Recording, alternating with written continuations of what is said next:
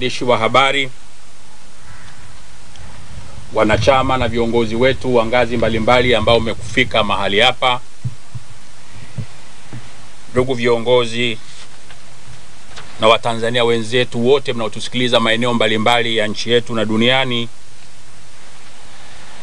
napenda na mimi nichukue nafasi hii kwa niaba yangu binafsi na niaba ya chama kutoa pole nyingi sana kwa Watanzania wenzetu ambao wamefikwa na janga la ajali ya kuporomokewa na jengo kule Kariakoo ambalo limetokea siku nne zilizopita na bado juhudi mbalimbali mbali za uokoaji zikiendelea. Tunawaombea marehemu wote waliopatikana kwenye janga lile. Mungu awape pumziko la milele lililo salama, na wale majeruhi wote ambao wanaendelea kupata matibabu, madaktari wanatibu, lakini Mwenyezi Mungu ndio anayeponya. Tunaziombea familia zote zinazokabiliana na misiba hiyo pamoja na matibabu hayo. Mungu awape subira, waendelee kumtegemea, na tuwaombee wengine wote ambao wameathirika kwa njia moja au nyingine na janga lile, pamoja na majanga mengine mbalimbali yanayotokea katika maisha yetu binadamu, basi Mwenyezi Mungu akawape afueni. Ndugu wa Tanzania na waandishi wa habari mnaonisikiliza, tumefika hapa kwa sababu viongozi wetu wa serikali na chama kinachotawala wameamua kulibaka taifa hili kwenye masuala ya kidemokrasia. Yote yanayoendelea katika mchakato mzima wa uchaguzi wa serikali za mitaa, hatuna lugha nyepesi zaidi ya kutumia kuliko ubakaji wa demokrasia ulio wazi, usio na chembe ya haya au aibu. Katika mazingira ya kawaida ya kibinadamu,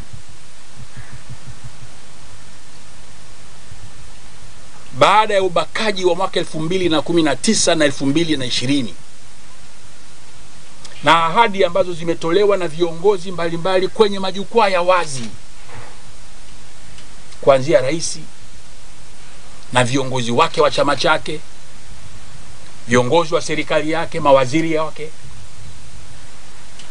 bado wanaweza kuwafanyia Watanzania ubakaji wa kiwango hiki kama vile sisi Watanzania wengine kuna Watanzania wa madaraja mbalimbali, kwamba maelfu kwa maelfu ya wagombea wa vyama vya upinzani eti mpaka leo bado wana shida ya kujaza fomu. Wanaligawa taifa bila sababu zozote za msingi, labda kwa sababu wanafikiri wao wana kinga ya vyombo vya ulinzi na usalama. Wanasahau kwamba kinga ya halisi inapatikana kwa Mwenyezi Mungu.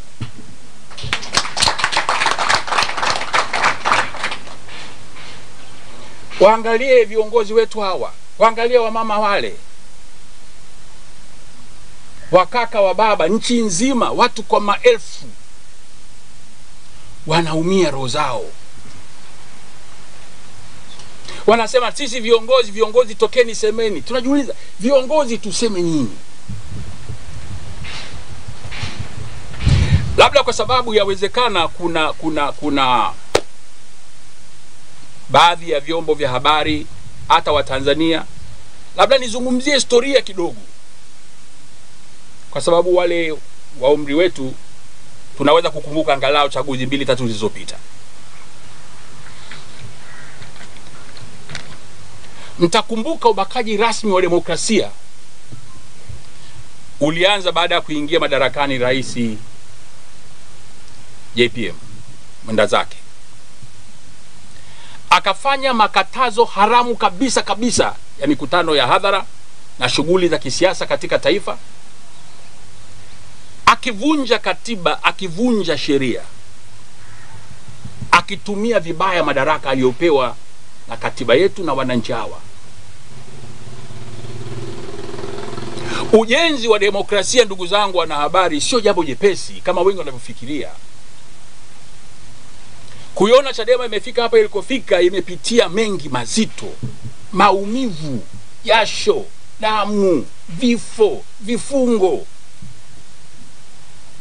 Hii kazi hatuifanyi kama furaha, hii kazi tunaifanya kama adhabu. Hakuna yoyote hapa anayelipwa. Hawa watu hawa wote hawa wanajitegemea, wanalipigania taifa lao, ili wewe mwandishi wa habari, ili Watanzania wengine wote tuwe na nchi salama ya kuishi. Hawa ni askari wa vita waliojitolea damu zao.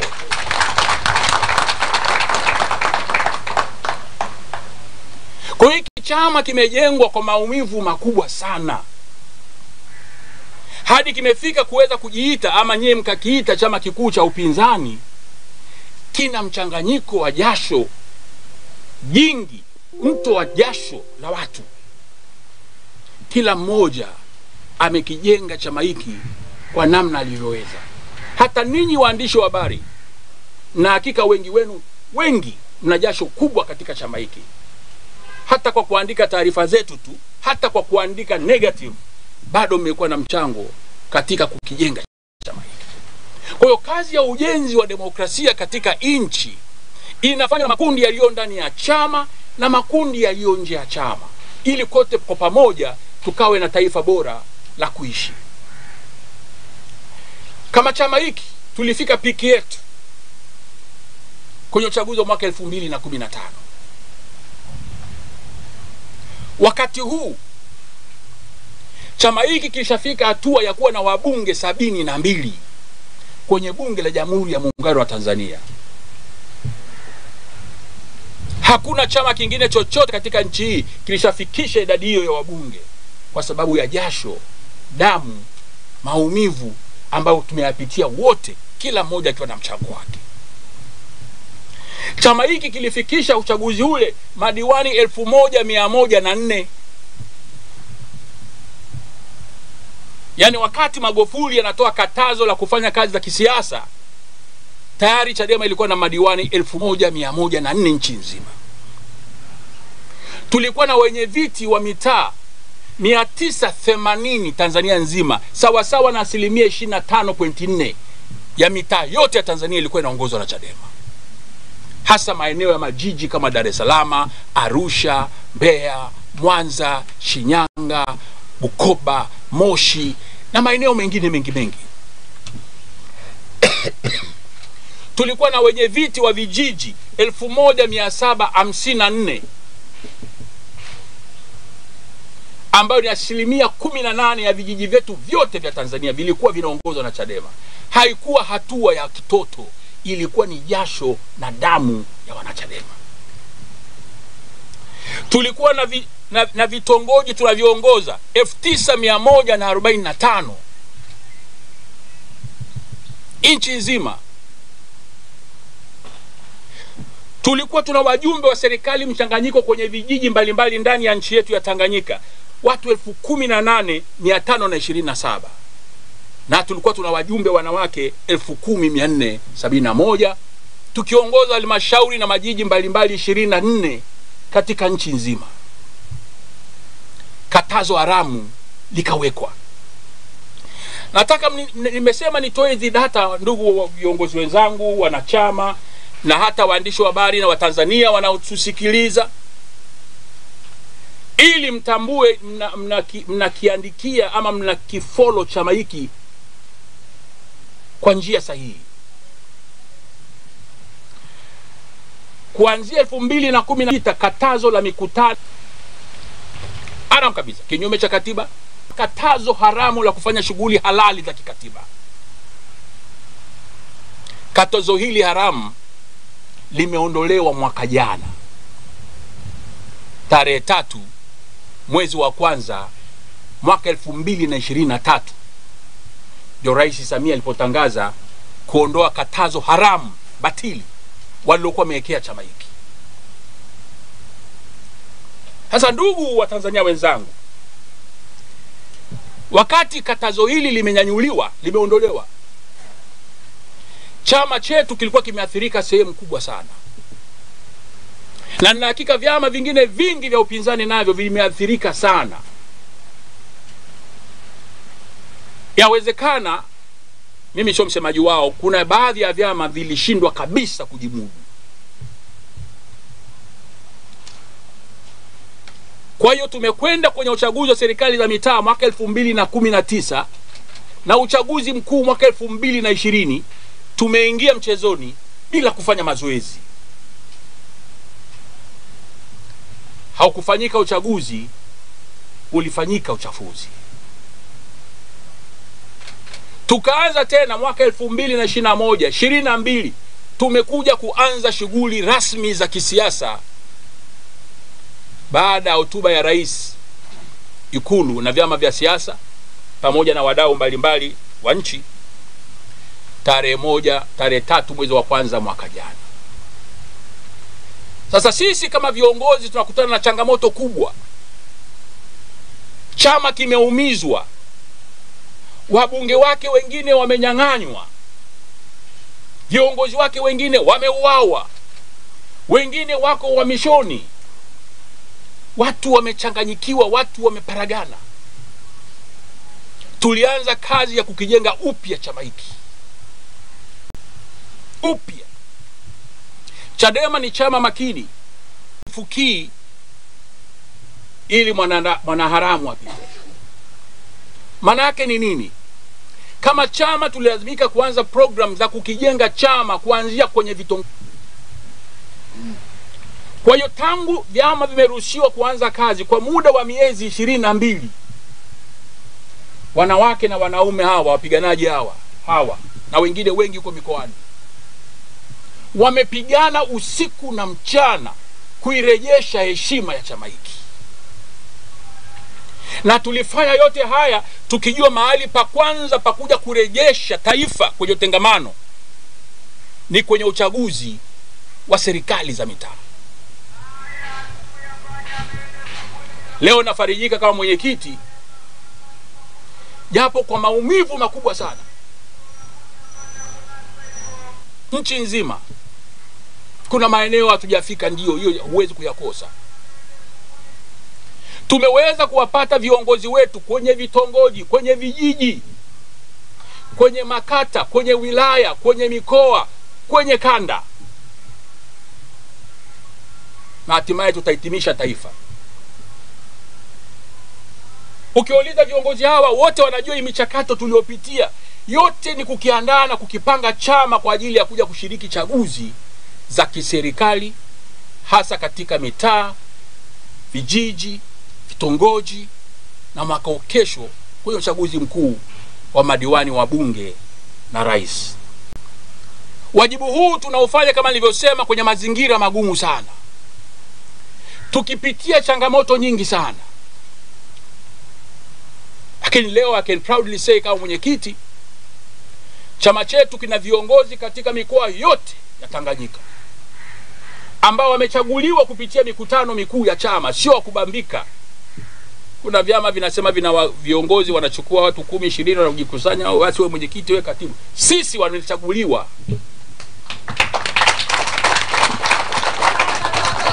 Inauma baba, ongea baba, inauma, wanatuumiza. Pole mama, pole pole. Sasa haya, ndugu zangu waandishi wa habari, naeleza kwenye historical perspective ili mujue how painful this process is. Watu wasije kafikiri hili jambo ni jambo jepeshi tu linazuka. Miezi ishirini na mbili usiku na mchana, viongozi hawalali, wanachama hawalali, wanapigana kukipanga chama kuanzia vitongoji. Vyama vingine vyote si vizungumzii, vitazungumza wenyewe, nao wanajua uzito wa jambo hili. Kwa hiyo leo tunapozungumza chama kipo, ni kweli chama kimesukwa upya na tuna viongozi kuanzia mitaani, vitongojini. Tunafika kwenye uchaguzi,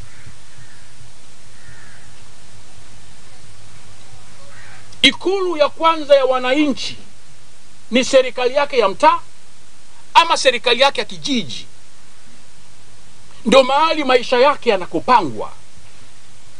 Tunaamini katika demokrasi ni haki ya msingi ya watu wanaohitaji kuipata katika maisha yao ya kila siku inawezekanaje viongozi wa chama kimoja na serikali yake wanapora haki za wale watu au na vitongoji mmesikia hapa ndugu waandishi wa habari viko vitongoji elfu sitini na tatu mia nane themanini na sita nchi nzima. Sio jambo dogo. Alafu nasikia anatoka kiongozi anasema wa CCM anajisifa anasema he, sisi wapinzani hawakuwa na wagombea sisi tulikuwa tuna wagombea wote nchi nzima. Wewe una serikali yote. Umejibebesha kwa, la, kwa laana wabunge wote madiwani wote halmashauri zote una vijiji vyote una vitongoji viongozi wa vitongoji wote una mapolisi yote serikali yote na mashirika ya umma. Unakuja kumfunga mwenzio kamba asiweze kupigana. Wewe una, una unfair advantage. Alafu unajigamba badala ya kuona aibu.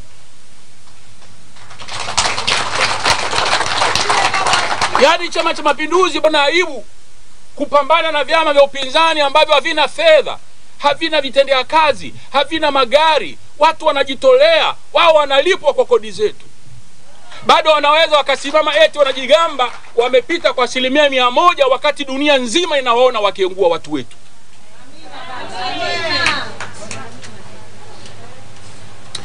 Haya mambo yanauzi. Wanaolia ni wengi na wengi wanalia wanasema mwenyekiti tujitoe kwenye uchaguzi huu. Ah, ah, tulia. Wengine wanalia wanasema hapana tupambane mpaka damu ya mwisho. Sisi kamati kuu yetu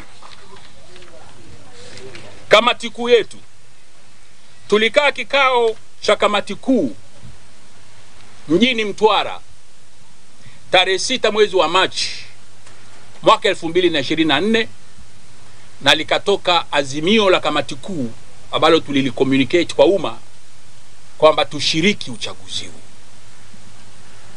Pamoja na mapungufu yote kwa sababu tumekipeleka chama hiki kwa zaidi ya miaka mitano miaka minne hakina mwenyekiti mmoja wa kitongoji hakina mjumbe mmoja wa serikali na chama cha siasa bila wawakilishi kwenye vyombo vya serikali kinakuwa irrelevant. Wananchi na matamanio yao. Ukienda bunju kule kawe watu wanaokaa mtaa wa bunju a sijui wanatamani wawe na mwenyekiti wao wa kusimamia maslahi yao na rasilimali zao katika eneo lao. Sasa sisi taifa tunaratibu tu jambo hili action ya jambo hili iko chini kwa wananchi wenyewe kila mmoja kwa eneo lake mahalia.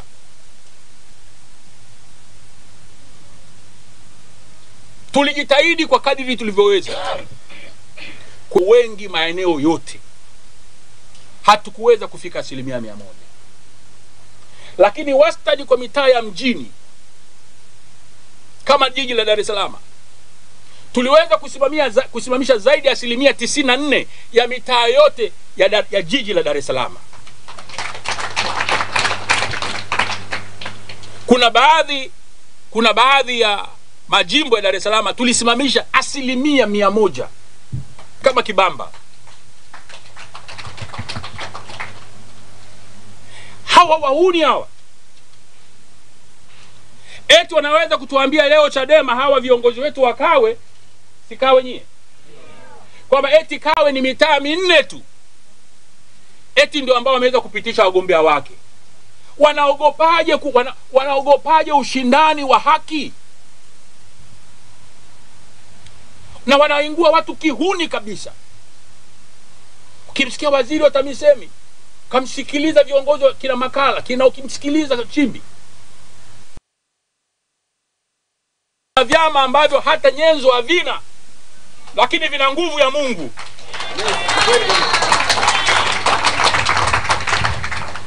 Bado tunasema tunataka watu wetu wote walioenguliwa warejeshwe kupigania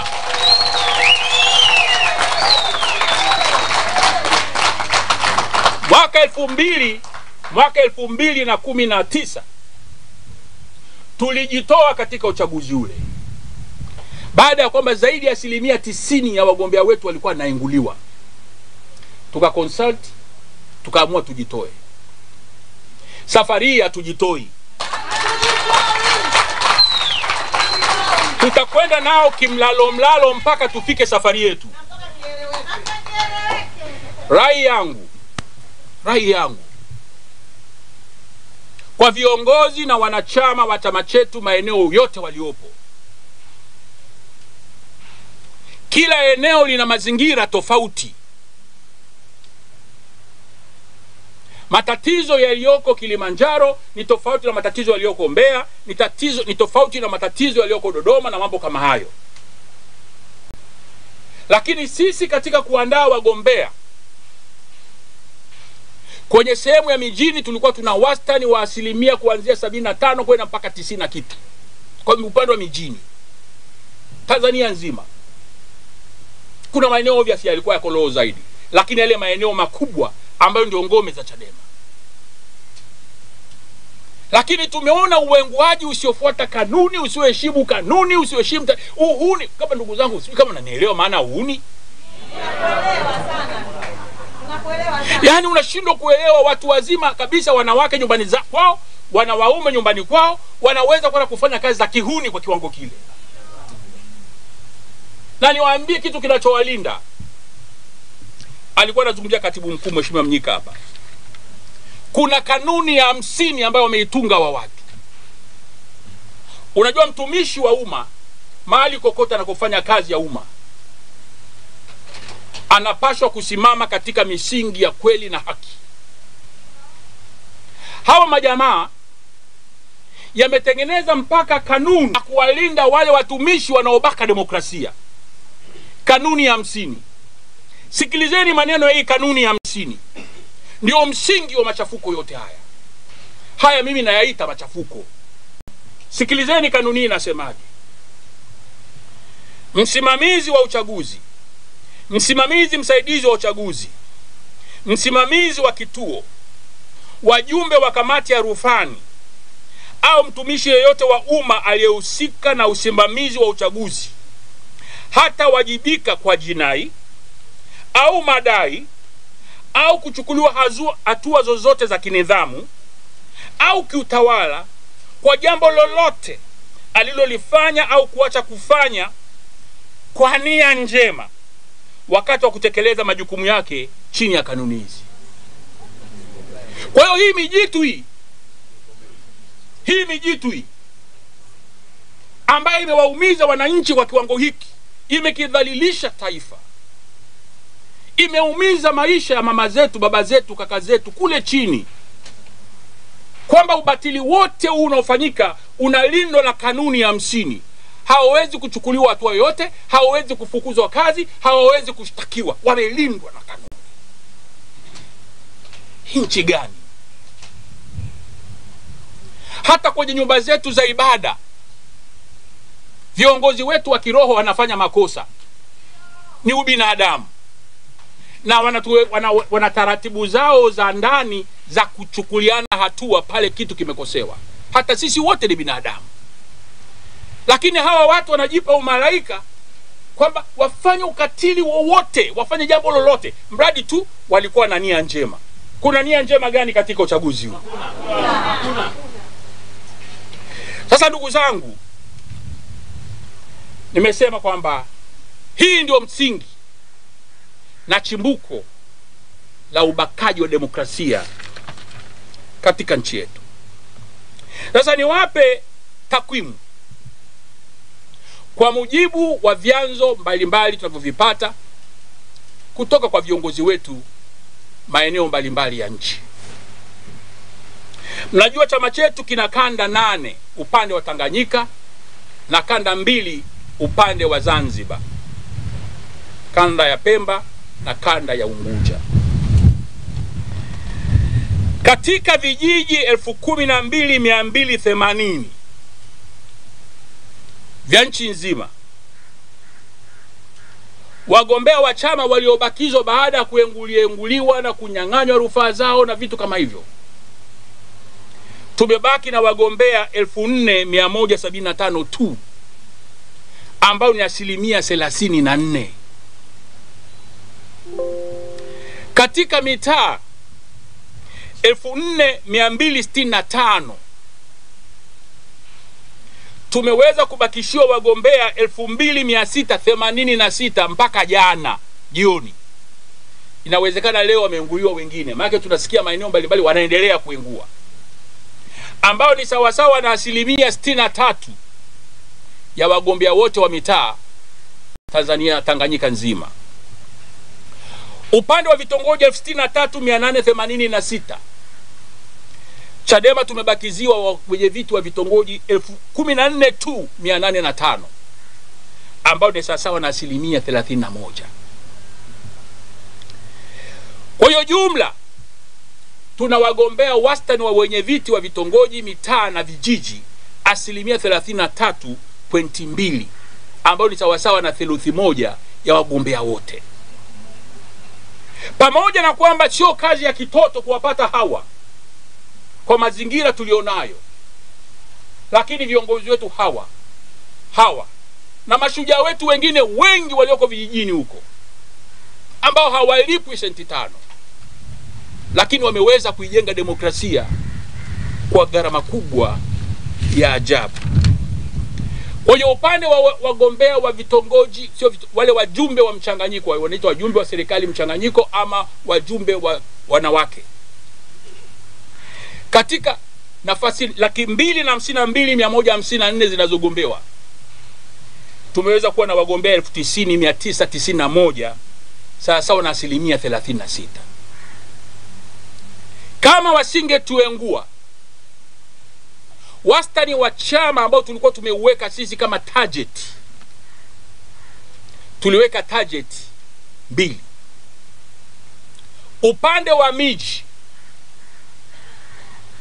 tulikuwa tumeweka target ya mitaa isipungue asilimia 85 on average. Tumeshushwa kutoka 85 ambayo ilikuwa ndoto yetu, tumeshushwa kibabe mpaka 63, na hapo ni kwa mapambano kweli kweli, na wenyewe ni ndugu waandishi wa na nyinyi ni mashahidi. Upande wa vijiji tulikuwa tumeweka wastani wa asilimia sitini. Tumeshushwa mpaka asilimia thelathini na nne. Wastani wa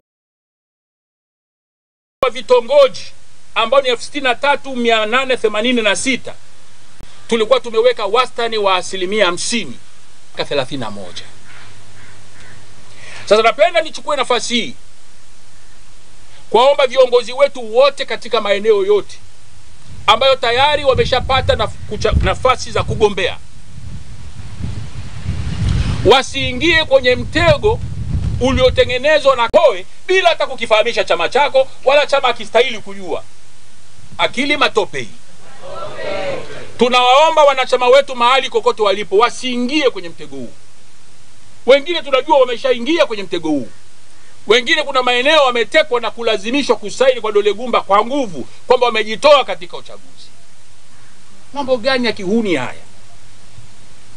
Sasa ndugu zangu wanahabari, kama nilivyosema, uamuzi wa kuendelea, pamoja na kwamba ilikuwa ni azimio la kamati kuu yetu iliyokaa iliyokaa iliyokaa Mtwara tarehe sita Machi kwamba tushiriki uchaguzi huu, ni fursa vile vile kwetu sisi kukusanya ushahidi na takwimu za kila aina ambazo wataalamu wetu na wanasheria wetu wanaendelea kuzifanyia compilation. Sasa mwisho wa zoezi hili tutashauriana kama chama nini kifanyike, maanake tumemaliza tumemaliza hatua hizi za uteuzi, tunaanza kampeni. Hatuamini kuna chochote cha, cha, cha, cha miujiza kitatokea hapa, lakini tumesema watu wetu wapambane mpaka dakika ya mwisho.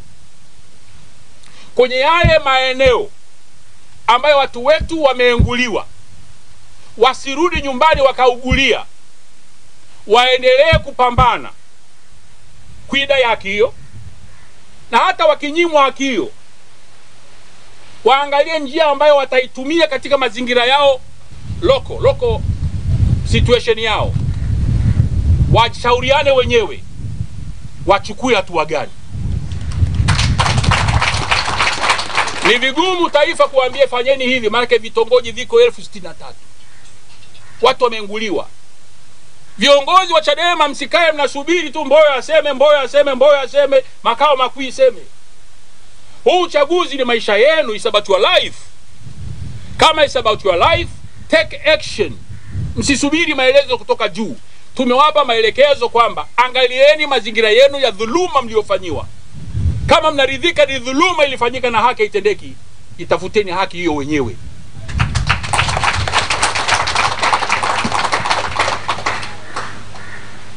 Sisi kama chama tunasikitishwa sana na mahakama za nchi yetu linapokuja swala la demokrasia. Wanaharakati mbalimbali wamekwenda mahakamani kwa nia njema kujaribu kutumia kuzuia kupata zuio la mahakama TAMISEMI wasisimamia uchaguzi huu. Waliyaona haya mambo, sasa hivi wako mahakama ya rufaa haijafanya maamuzi. Matokeo yake tunaona namna taifa linavyoumizwa. Laiti mahakama ingekuwa imeingilia kati kawasikiliza wale wanaharakati, haya mambo yote yasingetokea. Lakini mahakama zetu zina watu wa ajabu kweli kweli. Inapokuja swala la kukilinda Chama cha Mapinduzi, kinalindwa hata pale kinavyotenda dhambi za wazi kwa Watanzania wenzao. Tunaiomba mahakama ya rufani, hata kama uamuzi huo utakuja umechelewa, sio tu upige marufuku, upige zuio, usimamizi wowote usirudiwe tena kusimamiwa na TAMISEMI katika hatua yoyote, hama hata kama ni by election. Chaguzi hizi zikipita, najua kuna chaguzi nyingi tutakwenda mahakamani kuzipinga. Manake sheria kama ilivyo leo inazuia kuhusiende mahakamani mpaka uchaguzi ufanyike. Mambo gani haya? Haki umeshanyimwa, imeshamwagwa huko, ndio naambia uende mahakamani. Mahakama zetu hizi za maelekezo, mahakama hazipendi kuambiwa hivyo, lakini inabidi tuwaambie. Nawashukuru sana viongozi wa dini, for once wamesimama kulitetea taifa. Alafu waziri anakaa kwenye mkutano na waandishi wa habari anasema wamepewa, wameelekezwa vibaya. Yaani maaskofu wetu hawa hawana akili, mashehe wetu hawa hawana akili. Wenye akili ni mawaziri wa CCM. Like serious? Hawa viongozi wetu wa kiroho si tu kwamba wana uelewa wa kiroho, lakini wana elimu za kuwatosha. Viongozi wa serikali kusema wamepotoshwa wakati mambo yanaonekana obvious, kwa sababu ubakaji wa uchaguzi huu umekwenda hatua kwa hatua. Mtu yoyote mwenye akili timamu anaona kinachofanyika, tangu uandikishaji, ubatili, orodha ya wapiga kura ibandikwe, watu wachukue majina waweze kuweka pingamizi, karatasi zikachanganyana hivi huu ni mtupu. Hakuna mtu yoyote anaweza kufanya pingamizi kwa sababu ziliwekwa kimkakati zile karatasi. Kwa hiyo uhakiki wa daftari la, la, la wakazi haukuweza kufanyika nchi nzima. Uongo ndugu zangu? Sasa vitu vyote vinaonekana obvious, watu wa CCM wanaangalia wao kwa macho, sijui macho ya wapi. Sasa ndugu zangu, mimi naomba niwashukuru sana viongozi wetu wa dini. BAKWATA walitoa tamko, KKKT wametoa tamko, teki wamesimama sana, CCT wamesimama sana kukemea mambo haya. Tunaiambia serikali inaweza kuendelea kupuuza kelele za watu. Kuna taasisi mbalimbali za, za kitaaluma eh, mashirika yasiyo ya kiserikali yamezungumza mambo mengi, kwa sababu uchafuzi huu umefanyika so obvious, kila mtu anaona. Nimalizie ndugu zangu kwa kuambia kwamba wanachadema wenzangu, naomba msikate tamaa. Hii kazi ni safari, sio sio sio hatua mbili. Hii kazi ni shughuli. Hao wenzetu wanafanya yote haya kwa sababu wana hofu na sisi. hawa ni watu waoga sana hawa ni mijamaa mioga kweli wanaogopa sanduku la kura hakuna maelezo mengine yoyote unayoweza kuchukua zaidi ya kusema hawa watu ni coward, ni waoga hawa ambao wanaogopa kuingia kwenye sanduku la kura. Tukutane kwa debe, hawataki kukutana kwa debe. Peoples. Peoples. Ndugu zangu waandishi wa habari, asanteni. Ujumbe wetu kwa siku ya leo ulikuwa ndio huo. Mengine yameshazungumzwa na ataendelea kuzungumzwa. Sisi kama chama, viongozi wetu watatawanyika maeneo mbalimbali kusaidiana katika shughuli za kampeni, japo ni za muda mfupi. Wanachama wetu katika viongozi wetu wanaogombea katika maeneo mbalimbali, tumewambia kila eneo litengeneze ilani yake mahalia, kwa sababu uchaguzi huu, shida kama nilivyosema ya Masasi, kijiji cha Masasi haiwezi kafanana na kijiji cha Handeni kule Tanga. Kila eneo lina mambo yake mahususi. Kwa hiyo wale wagombea wetu wana maelekezo kwamba waandae ilani zao ambazo zina resonate au zinaendana na matatizo ya mahali ali, mahalia. Taifa tunatengeneza ilani kuu wakati wa chaguzi kuu. Nimalizia hapo nikialika Mheshimiwa Mrema, kama kuna basi tutayapokea, alafu tafunga shughuli yetu. Asanteni sana.